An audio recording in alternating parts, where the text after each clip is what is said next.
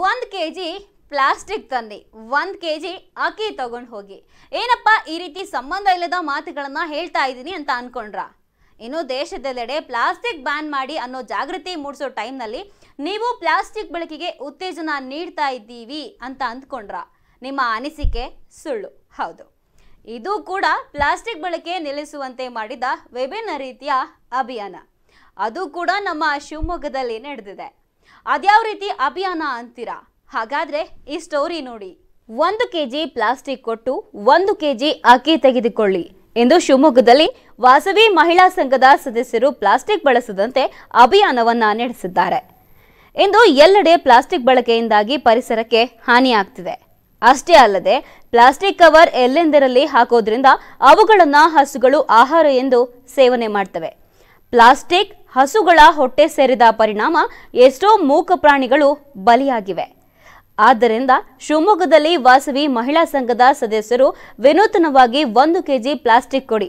ಅದಕ್ಕೆ ಪ್ರತಿಯಾಗಿ ಒಂದು ಕೆಜಿ ಅಕ್ಕಿ ಪಡೆದುಕೊಳ್ಳಿ ಎಂಬ ವಿನೂತನ ಕಾರ್ಯಕ್ರಮವನ್ನ ಹಮ್ಮಿಕೊಂಡಿದ್ದಾರೆ. ಸಾರ್ವಜನಿಕರು ಎಷ್ಟು ಪ್ಲಾಸ್ಟಿಕ್ ನಾವು ಅಷ್ಟು ಅಕ್ಕಿನ ನಾವು ಅವರಿಗೆ ಈ ಕಾರ್ಯಕ್ರಮದ ಮೂಲಕ ಸಾರ್ವಜನಿಕರಲ್ಲಿ ಪ್ಲಾಸ್ಟಿಕ್ ಬಳಸದಂತೆ ಹಾಗೂ ಪ್ಲಾಸ್ಟಿಕ್ ಬಳಸುವುದರಿಂದ ಯಾವ ರೀತಿ ದುಷ್ಪರಿಣಾಮ ಉಂಟಾಗುತ್ತದೆ ಎಂಬುದರ ಕುರಿತು ಜಾಗೃತಿಯನ್ನ ಮೂಡಿಸಿದ್ರು. ಪ್ಲಾಸ್ಟಿಕ್ಕನ್ನು ಬಿಸಾಕಿದರೆ ನೆಲದಲ್ಲಿ ಬಿದ್ದು ನೆಲದಲ್ಲಿ ನೀರು ಇಳಿಯೋದಿಲ್ಲ, ಅದು ಕೊಳೆಯೋದಿಲ್ಲ, ಏನಿಲ್ಲ, ಪರಿಸರ ಹಾಳಾಗ್ತಾ ಇದೆ. ಸುಟ್ಟರು ಒಂದು ರೀತಿ ವಾಸನೆ ಬರುತ್ತೆ, ಇದಾಗುತ್ತೆ. ಈಗ ಇವರು ತಗೊಂಡೋಗಿ ಕೊಡ್ತಾ ಇರತಕ್ಕಂಥ ಕಾರ್ಯಕ್ರಮ ತುಂಬ ಶ್ಲಾಘನೀಯವಾಗಿ ಮಾಡ್ತಾ ಇದ್ದಾರೆ. ಈ ಅಭಿಯಾನದಿಂದ ಒಂದೇ ದಿನಕ್ಕೆ ಬರೋಬ್ಬರಿ ನೂರ ಐವತ್ತು ಕೆಜಿ ಪ್ಲಾಸ್ಟಿಕ್ ಸಂಗ್ರಹ ಆಗಿದ್ದು, ಅದಕ್ಕೆ ಪ್ರತಿಯಾಗಿ ಮಹಿಳಾ ಸದಸ್ಯರು ನೂರ ಐವತ್ತು ಕೆಜಿ ಅಕ್ಕಿಯನ್ನ ನೀಡಿದ್ದಾರೆ. ಹಾಗೆಯೇ ತಮ್ಮ ಅಭಿಯಾನಕ್ಕೆ ಸಾರ್ವಜನಿಕರಿಂದ ಉತ್ತಮ ಸ್ಪಂದನೆ ದೊರೆತಿರೋದಕ್ಕೆ ಸದಸ್ಯರು ಸಂತಸವನ್ನ ಕೂಡ ವ್ಯಕ್ತಪಡಿಸಿದ್ರು. ಸಾರ್ವಜನಿಕರಿಗೆ ಎಲ್ಲರಿಗೂ ತುಂಬ ಹೃದಯದ ಧನ್ಯವಾದಗಳು.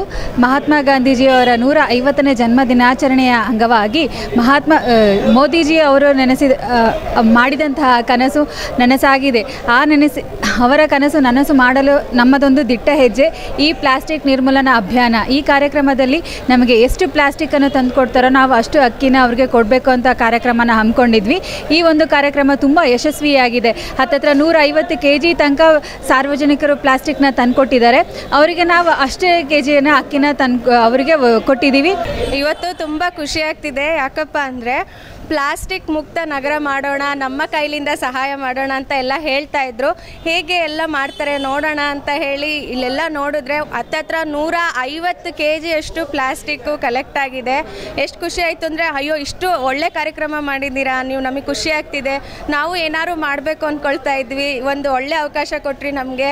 ನಾವು ಇನ್ಮೇಲೆ ನಮ್ಮ ಅಕ್ಕಪಕ್ಕದವ್ರಿಗೆ ಹೇಳ್ತೀವಿ, ನಾವು ಇದೆಲ್ಲ ಬಳಸಲ್ಲ ಅಂತ ಹೇಳಿ ಅವರು ಪ್ಲಾಸ್ಟಿಕ್ ಎಲ್ಲ ಕೊಟ್ಟು ಅಕ್ಕಿ ಕೊಟ್ಟಾಗ ಇನ್ನೂ ಸಂತೋಷ ಆಯಿತು. ಇದು ಒಳ್ಳೆ ಉಪಯೋಗ ಆಗುತ್ತಮ್ಮ, ಬೇರೆ ಎಲ್ಲ ಕೊಡೋದಕ್ಕಿಂತ ಅಕ್ಕಿ ಕೊಡೋದು ತುಂಬ ಇಷ್ಟ ಆಯಿತು ಅಂತ ಹೇಳಿ ಅದನ್ನು ಇಸ್ಕೊಂಡೋಗಿ ಅವ್ರ ಅಕ್ಕಪಕ್ಕದ ಮನೆಯವ್ರಿಗೆಲ್ಲ ಹೇಳಿ ಕರ್ಕೊಂಬಂದರು ನಿಜವಾಗ್ಲೂ ಇಷ್ಟು ಒಳ್ಳೆ ಸ್ಪಂದನೆ ಸಿಗುತ್ತೆ ನಮ್ಮ ಈ ಒಂದು ಪುಟ್ಟ ಕಾರ್ಯಕ್ರಮಕ್ಕೆ ಅಂದ್ಕೊಂಡು ಅಂದ್ಕೊಂಡಿರಲಿಲ್ಲ ಆದರೆ ಬಂದಿದೆ, ತುಂಬ ಖುಷಿ ಆಯಿತು. ಒಟ್ಟಾರೆ ಇತ್ತೀಚಿನ ದಿನಗಳಲ್ಲಿ ಪ್ಲಾಸ್ಟಿಕ್ನಿಂದ ಆಗ್ತಕ್ಕಂಥ ಪರಿಣಾಮಗಳ ಬಗ್ಗೆ ಜನರಲ್ಲಿ ತುಂಬಾನೇ ಅರಿವು ಮೂಡಿದೆ. ಶಿವಮೊಗ್ಗದಲ್ಲಿ ಇದರ ಬಗ್ಗೆ ಜಿಲ್ಲಾಡಳಿತ ಕೂಡ ಸೂಕ್ತ ಕ್ರಮವನ್ನ ಕೈಗೊಂಡಿದೆ. ಇದಕ್ಕಾಗಿ ಹಲವು ಪ್ರಯತ್ನ ಕೂಡ ನಡೀತಾ ಇದೆ. ಇದರ ಮಧ್ಯೆ ಈ ವಾಸವಿ ಮಹಿಳಾ ಸಂಘದ ಸದಸ್ಯರು ಡಿಫರೆಂಟ್ ಆಗಿ ಒಂದೊಳ್ಳೆ ಪ್ರಯತ್ನವನ್ನ ಮಾಡಿ ಬೇಷ್ ಎನಿಸಿಕೊಂಡಿದ್ದಾರೆ. ಇವರ ಜಾಗೃತಿಯು ಸಮಾಜದ ಮೇಲೆ ಒಳ್ಳೆಯ ಪರಿಣಾಮ ಬೀರಿದೆ ಅನ್ನೋದು ಸುಳ್ಳಲ್ಲ. ಅವರ ಈ ಕಾನ್ಸೆಪ್ಟ್ ಇದೀಗ ಸೋಷಿಯಲ್ ಮೀಡಿಯಾದಲ್ಲಿ ಹೆಸರನ್ನ ಕೂಡ ಮಾಡ್ತಿದೆ. ಕ್ಯಾಮ್ರಾ ಪರ್ಸನ್ ಚೇತನ್ ಜೊತೆ ತೇಕ್ಲೆ ವಿನಯ್, ಟಿವಿ ಭಾರತ್ ಶಿವಮೊಗ್ಗ.